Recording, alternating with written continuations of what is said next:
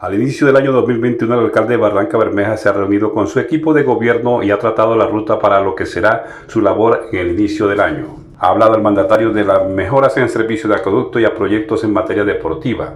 Iniciamos un nuevo año, está aquí muy activo todo nuestro equipo del gobierno distrital, revisando proyectos que iniciamos esta misma semana en el barrio de Colombia, donde vamos a darle inicio al acueducto y a todas las obras necesarias para que tengamos calidad del agua en Barranca Bermeja, como la aprobación que se hizo en el barrio Torcoroma, Uribe Uribe, Pueblo Nuevo, también estamos haciendo todo el inicio en aguas de Barranca Bermeja para más de 13 kilómetros de cambio de esa tubería vieja de asbesto por tubería nueva.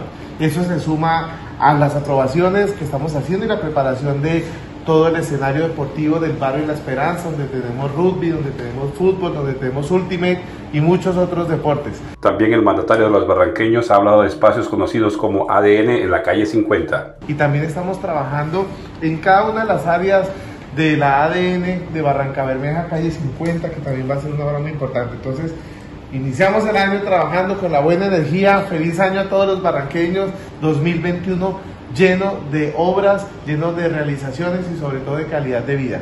Adelante. En medio de una pandemia que no cede y que ha tocado a su equipo de gobierno, el alcalde asegura que con toda su energía seguirá adelante en el cumplimiento de su plan de desarrollo.